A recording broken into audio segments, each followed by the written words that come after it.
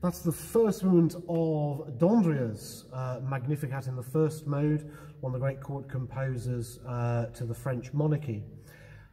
This is one of the pieces we'll be playing in our next of our organ and heritage recitals here at the Dome of Home, the Shrine Church of Saints Peter and Paul and St Philomena in New Brighton.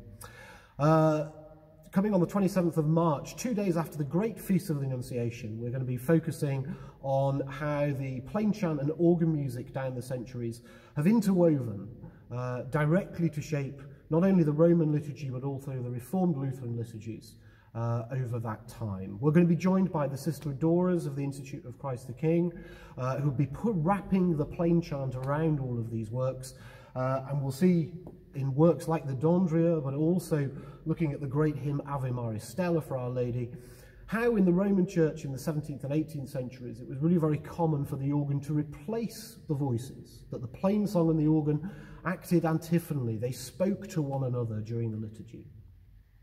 That changed, of course, particularly in continental Europe, Northern Europe with the Reformed churches, but that legacy of the importance of plain song goes all the way through.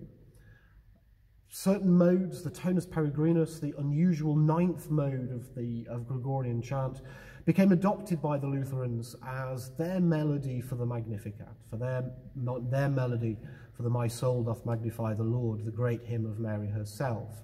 And we'll explore that through a variety of chorale preludes by composers such as Johann Pachelbel and Johann Sebastian Bach himself.